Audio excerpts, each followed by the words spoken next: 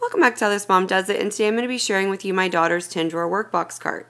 If you're interested in seeing how I use a 10 drawer workbox cart to organize a lot of homeschool materials in a little space, stay tuned.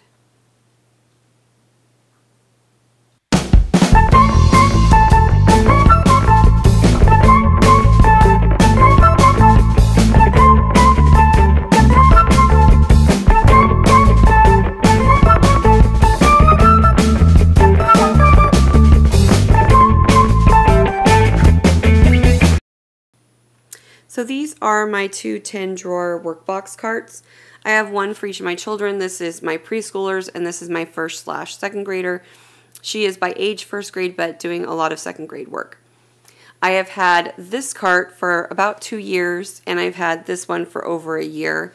They've held up quite well. Um, we use them like almost every day basically. So the kids are in and out of the drawers getting things and they have been well loved. The only thing that I have noticed about these carts, and it could just be the particular brand that I've got, or could just be how we use them. I do keep them really full, and I've noticed it mainly happens with my daughter's carts because they are fuller and heavier. That um, the metal on the side will kind of shave some of the plastic, and it ends up on the ground. So I just sweep up underneath it. But other than that, they've been they've been pretty sturdy. So I've been pretty happy with my purchase. I did get these on Amazon. Um, and I got a really good deal on them. I got them both for between 30 and $40, I believe. It, definitely around 40 or less. Um, it, but it's been a while. I don't really remember exactly, but I know that it wasn't a huge investment, um, but it was a little bit of money. So to get two of them, um, I had to think really carefully: is, would it work for us or not? And I really wasn't sure um, in terms of our space, but it's worked out great. Um, so it was definitely worth the investment in the long run. And um, I don't have a homeschool room. So having a designated space for all the kids' school stuff um, has really helped out. And it really doesn't take up a lot of space like I thought it would. And I do like how it, they're on wheels. So um, I'm coming to you from my dining room. It's in a little corner. Um, behind a chair. So the kids can still get to it just fine and they move the chair when they want to. But this is just the space that works best for us. And when we have people over or something like that, have um, we've had some dinner parties and we've needed the space. So when that happens, we just roll them out into one of the bedrooms to store. So it works out really great.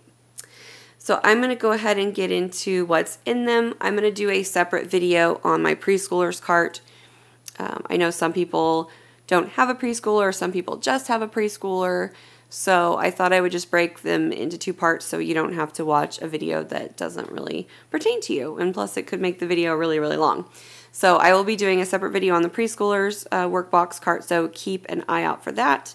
But this video is going to be on my first slash second grader. So I'll go ahead and get into what's in her boxes. So on top of the workbox cart, I have my daughter's work binder, and that is where I put work for the day or week, depending on what we're working on. Um, and then that way she can grab the binder and work on it if I need her to work a little more independently than I can. So that um, is where I keep that so she can easily um, get access to it. And I do have a video on my binder system that you can check out if you'd like to. I keep her um, little writing writer's workshop portfolio and I actually did a video on that as well. So if you want to look at um, how I put together writing help for her, then you can check out that video. Um, I keep her clipboards, and this is our traveling clipboard, and I showed this in our road schooling, road uh, how to homeschool on the road video, um, and that is where I keep that so we can um, always know where that's at and get access to it fairly easily. And this is her new home clipboard, and I have actually have her work clipboarded um, on the clipboard already for today for when we get started. Sometimes she likes to use the clipboard rather than the binder just because she doesn't have to deal with the rings on her on the side um, interfering with her work. So um, today I had some writing for her to do and some things, so I put it on the clipboard so it's ready for her and she can just grab it when she's ready. And then some extra notebooks that she uses for writing and um, that type of thing. And then we have her Bibles on top so she can get access to them easily. And then also the um, the um, shared reading books, and these are the books that she reads to me um, so I can check her reading um, progress. And she's finishing up with the littles go to school, and she's going to be starting Cam Jansen. So I had both of these up there for her because she's just about to finish one of them. And then next to that, I have her pencil box case for the year. And this has her glue stick and pencils and all that. And I showed this in a previous video too. And then this is her um, little box of math manipulatives. So I have a lot of um, math manipulatives, but I find it's helpful just to have like a little set available so I can just tell her to go grab what we need um, to work on her daily math review and it's usually like a bag of coins and dollars, um, a small bag, and some um, counters of some kind and some color tiles. So, and her Judy clock, her little mini student clock is in there as well. So that is what I keep on top so it's easy to access. And the first drawer is actually um, just her drawer. So it has her little stress ball that she'll squeeze when um, she has to move around when she does her work. So it kind of helps keep her hands busy when she's doing things. And then I have a pointer for when we use some of our um, posters and things like that. And this is kind of just her drawer. She has her little Shopkins shop list. Whatever she wants to put in there, this is kind of her drawer to store her things. And the next drawer is our um, handwriting drawer. So I have the handwriting book we're currently working in, some extra paper for her to use, there's a puzzle book in there for some reason. Um, and then the next handwriting book is um, there as well, plus some pencils and erasers and some extra of her stuff I, we have in that drawer. And next is our spelling and vocabulary drawer. So in it I have her planner and I have a video on how I use the planner to help teach spelling. So if you'd like to check that out, you can. And I also have her spelling workout book. And I did choose to keep the spelling book intact this year instead of ripping the pages out and putting it in our binder because we do use a binder system for most of our workbooks type work. Um, but the format of the book I just thought worked better staying um, intact into the actual workbook. So we're trying it out this way this year, and so far I do like it better um, with the page not being ripped out. So that's how we're doing that this year. And then um, I have her Wordly Wise book, and that's the book we're using for vocabulary. And I have an overview of this available if you'd like to check that out. And then I have extra spelling practice. So when we finish spelling for the year, we have some extra spelling work to do some review with. Um, if we stay on target with spelling workout, then we should finish before the end of the year. So I like to have extra spelling resources available if and this is my daughter's phonics and reading drawer. It is the most full out of all the drawers. We do use several different resources. So I'll go ahead and just get into it. This is um, her Abeka reader and we don't use the full Abeka program. We just use the um, the practice reading books we are using a Houghton Mifflin textbook and this is the phonics one of the phonics readers that goes with it so she's working through that one right now we use um, the reading skills books um, from Flash Kids. I believe it's Flash Kids. It's a Harcourt a brand. Um, and she really likes this brand of workbooks. So we use this one for extra uh, comprehension practice. And then this is the textbook that she likes that we're continuing on with. And then I also store our phonics books, uh, our, our Plaid Phonics workbook and the practice book for the textbook that she likes. Um, both of those I store in here. I do tear the pages out of it and put it into our binder just for easy storage. It makes it easier when we're going places and um, having to be mobile with our homeschool materials, not having to take all these books is really nice. So I'll just pull out into our monthly binder what we're going to be accomplishing for that month. But I do store the workbooks themselves in this drawer, so I always know where they're at. Um, and if she wants to work ahead, she knows where they're at and she can grab them and I can pull out the pages. So um, that's where I keep that. And then there's also some um, tests that go along with the um, textbook in there if we want to use them. So that's what is in the phonics drawer. So next is our grammar and writing drawer. And in it I have, um, this is actually just a fun book that um, goes over parts of grammar and helps to teach it in a fun way. So we are using that this year. And then I have her writing journal, and she does do some creative writing a few times a week. And this is the writing skills book, and this is what we're using for the main part of our writing curriculum. Um, we used this last year, and she really loved it, and so we're going to continue using that this year. This is some extra, um, it goes along with the writing skills book, and it's just some extra practice. And we are using first language lessons, so that is in here as well. And we do do some other things like grammar minutes um, and some other writing um, assignments that I give her and different unit studies. And all of that is in our binder for the month. So that is in a separate video if you'd like to see that. These are just any of the workbook, work, workbooks and um, physical books that we use um, daily. So this is our math drawer. And we actually have most of our math curriculum in our monthly work binder. We use My Math, a daily math review, and math minutes, and that's all in that binder. And I plan to do a video uh, overview on all of our math and how I put it all together. So be on the lookout for that. I hope to get that out pretty soon. Um, but these are the extras, the extra workbooks and things, um, just to give her extra practice and to fill in things.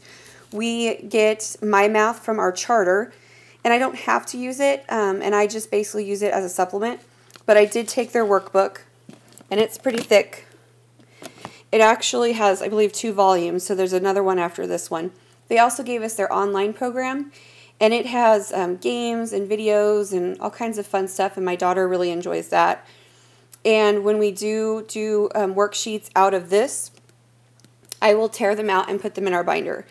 But it's a pretty big workbook and I needed a place to put it. So it lives here in this drawer just to kind of stay out of the way and we can grab it when we need it.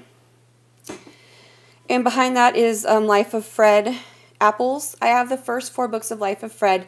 We actually started using it last year and it just didn't work out for us last year. We were just really busy and um, we used Math Mammoth and by the time we were done with the all of our Math Mammoth for the end of the week, we just didn't do any more math. And I wish we'd stuck to doing Life of Fred because she really does enjoy it. But for our charter, we have to produce written work, and it really just wasn't enough written work, I didn't feel like. So I'd like to integrate it more this year and possibly do like fun math Saturday where she does it on a whiteboard because she really did like Life of Fred. So I hope to integrate that more um, as the year goes on. So I'm leaving it in there right now so I don't forget about the book. And then I have extra math workbooks and things that she can uh, move on to if she gets bored or just needs some extra practice. Like this is a Flash Kids brand. It's the brand of workbooks that my daughter really likes. It has lots of color and pictures and stickers and just fun stuff. And there's some more um, fun workbooks in there too. So that is our math drawer. So this is our science drawer. And the main part of our curriculum is elemental science, grammar stage biology, which is basically life science. It's uh, animals, human body, and plants. And most of the elemental science that I have is uh, digital and I've printed it. So it is in our monthly binder. Um, but I actually got the printed copy of the student workbook from our charter. They paid for it. So I have um, this student workbook and we keep it in here for her. I do plan on doing an overview of our science curriculum because I really do like um, this series so far. Um, so I'd like to show um, a little more bit more about it because I didn't really know much about elemental science. When I looked online about it, I would have loved to see more reviews and I really didn't see a lot on it. So I kind of went into it not knowing what I was going to be getting and I really liked it. So I purchased some of the extras as well, the coloring pages and the lab books that go with it. So I will be um, doing a video pretty soon, hopefully, on that so I can um, share what elemental science looks like. But this is a student workbook, and we keep it in here so it's easy for her to access. And since we are doing um, animals, and I do have a lot of um, books that I supplement with, um, encyclopedias and themed books, paperbacks, picture books that we add in, and I hope to get a video up on that as well. Um, but this isn't all the science reading she's doing. This is just what I keep in this drawer. But she's doing the Christian Liberty Press's Nature Reader, and this is book one. I also have book two because I wasn't sure what level would be good for her. So I got the kindergarten for my son, and I got the level one and level two for my daughter, and she's buzzing through it pretty quickly. So she'll be on to level the level two book probably, I would say mid year, because we're only reading like a story or two a week, but um, it's going pretty quickly. So, um, but I do like this. It's pretty cute, and um, I can show it closer if anyone's interested in seeing them. But um, that's something else that I keep in the store. And she does that independently. I just give her the assignment, the reading assignment, and she does it on her own. And then I've added in the Abeka Health, Safety, and Manners reader. And I, this is level two. We have level one as well. I got these actually used for like $2 each um, at our used bookstore. Uh, but I really like it. I don't make her do any of the writing assignments. I'll just make her read. So I'll assign her a page or two a week and she just reads it. So it's just some good extra um, health and safety information for her, and it helps her with her independent reading. Also, I have the Startup Science series, and I got this off of Rainbow Resources. I believe it's four books. Each book is different, and this one is the Life Science. And um, so this basically is a thin book, you can see. But um, we're going to be going through that this year, and I basically just pick out the pages that go along with what we're learning in elemental science. So she does like a page or two a week, and it's just for some extra fun. And it is, I'll show you real quick, lots of color and pictures and fun activities. So she likes that, and she does that independently. And then the rest of the um, drawer is just extra science stuff that I have her reading or doing. And this is a National Geographic. I have a human body puzzle, um, some fun extra workbooks, and like a, um, an animal puzzle and her little magnifying glass that they keep in their drawers. Um, I have a lot more science materials that are the fun hands-on stuff. And I'm going to try and get a video up on that pretty soon too because I've got some really neat things that we add into our science. So be on the lookout for that video. But this is our science drawer. So this is our social studies, history, and geography drawer. Um, I do do unit studies that I mix in that stuff like Johnny Appleseed, Constitution Day, things like that. And if we are working on a lap book or something, I will keep it in this drawer. We are also doing Story of the World. But for that, it's basically the storybook you read to them. And we do most of it actually on CD where we listen to it. And then we have the activity book and the student pages. And all of that I pretty much keep up with me at the counter where we do our work. And the activity pages and everything are in our monthly binder. So that is all is stored in a, in a different place. And then our books that we're reading to go along with Story of the World are in our monthly book basket. So those are stored in a different place. So how I'm using the this drawer right now is mainly for geography. And we are using Map, Charts, and Globes by Modern Curriculum Press. We did the book A last year, so we're continuing on with book B this year. And I had picked this out separately, but our charter actually pays for it. So I went ahead and took the free version, and that's what we're using this year as our main geography curriculum. Um, Story of the World does have map work in it, but it doesn't really teach about maps, and this teaches about maps and globes and, and all of that. So we're using that. And then in here I also keep our Highlights Top Secret Adventures. This is actually a really neat program, and I got these used for less than $2 a package, and so less than $2 a country. And it comes with a puzzle and all kinds of stuff. And basically every month we're exploring a different country through a mystery that you have to solve. So it's pretty cool. And I can show um, more about it if anyone's interested. I probably will do a video on it later on because it's a pretty neat program.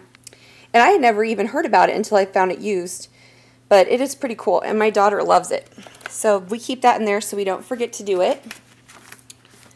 And then I just have some extra fun geography things in here a geography book, some extra puzzles, and I have other atlases that are on our bookshelf, but this is more just like fun things to keep in her drawer. So if she has some extra time, I can tell her to go to her drawer and pick out a puzzle or something. And that is our social studies drawer. So the next drawer is our Bible drawer, and we keep several different Bibles in here, ones that we aren't using very much right now. We have the um, primary Bible reader from Abeka, my favorite Bible, a Precious Moments Bible, and some notebooks for my daughter to write verses in and, and draw pictures. And then we're also using the main books that we're using this year are the Beginner's Bible and the Jesus Storybook Bible. And we're actually listening to the Jesus Storybook Bible, the CDs, in the car. And I really like the reader, David Suchet. He does a great job reading them, and my daughter really loves it. So we listen to those, and then she does readings out of the Beginner's Bible.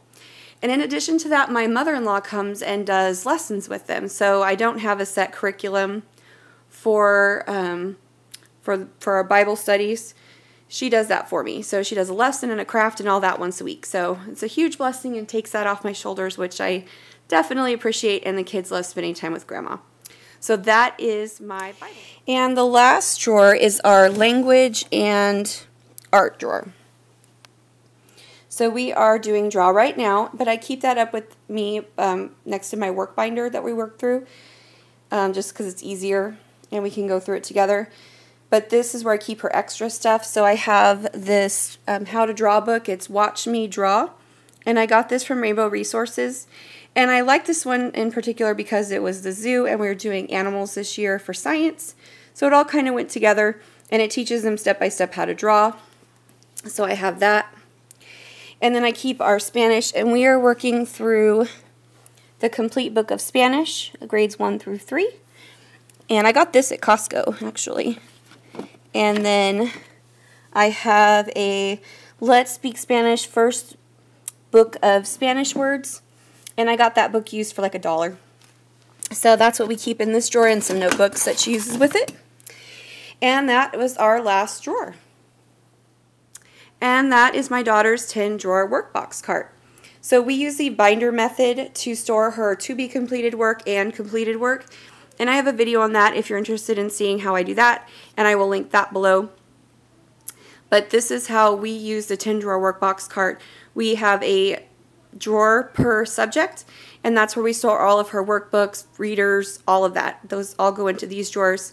And because we don't have a schoolroom, trying to organize everything in a very small space is key to keeping us on track and focused and being able to find all of our stuff. So that is how I use the um, workbox cart to keep my first slash second graders curriculum organized. If you're interested in seeing more about the curriculum, I have videos for my first slash second graders curriculum as well as my preschoolers. So you can check those out if you'd like to. And I do plan on doing a video for my preschoolers workbox cart um, pretty soon. So be on the lookout for that as well because I do do some different things with his drawers. So I, I hope you like this video, and if you do, click like and subscribe, and I will see you next time.